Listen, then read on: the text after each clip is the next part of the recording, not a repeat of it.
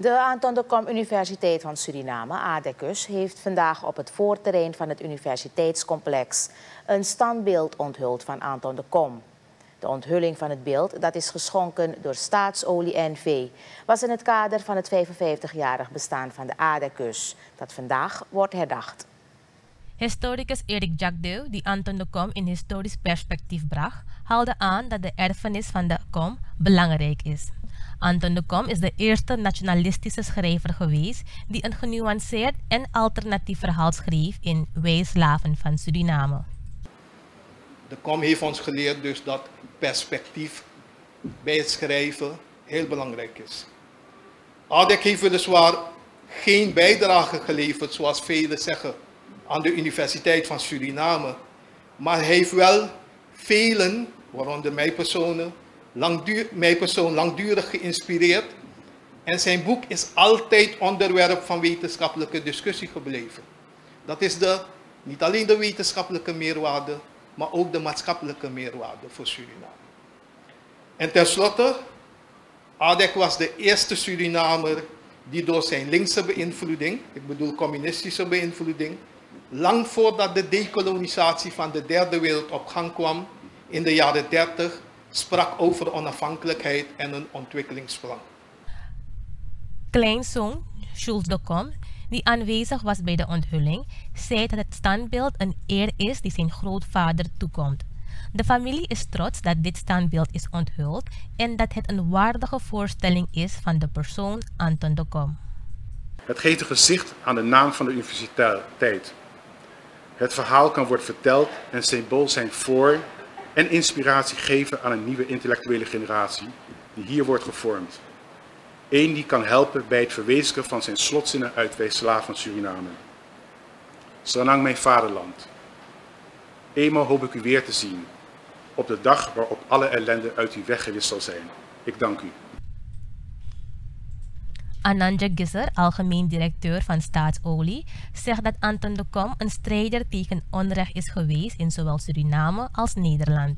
En met zijn boek Wij slaven van Suriname heeft hij bijgedragen aan de bewustwording van het Surinaams volk.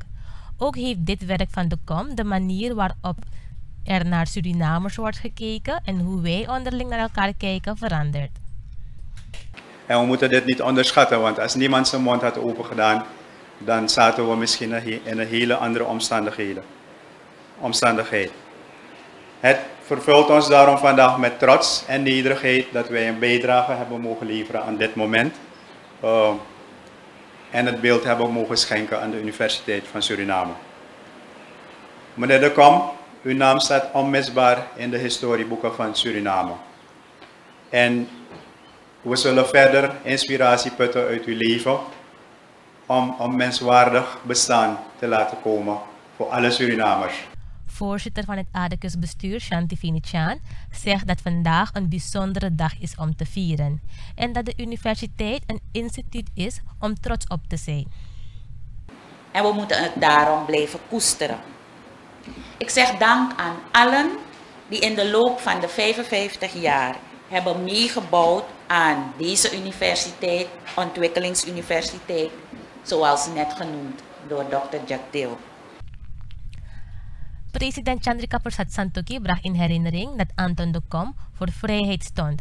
En vrijheid is een van de belangrijke pijlers binnen onze democratische rechtsstaat. Anton de Kom heeft gestreden voor de mensen van Suriname, meent het staatshoofd. Hij streed voor hun vrijheid.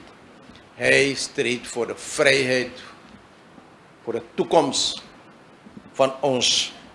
Hij heeft gestreden voor die vrijheid die wij vandaag nu hebben in ons land. Hij heeft getracht met strijdmethoden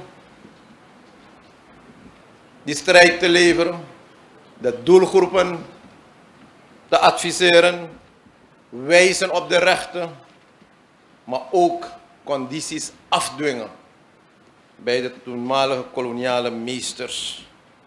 En daarvoor heeft hij een hele hoge prijs moeten betalen. Het standbeeld gemaakt door kunstenaar Erwin de Vries moest in 2006 geplaatst worden in Amsterdam, Zuidoost, Nederland. Aardekus-voorzitter Venetiaan liet weten dat er in de loop van dit jaar diverse activiteiten ontplooid zullen worden om het 55-jarig bestaan van de universiteit te vieren.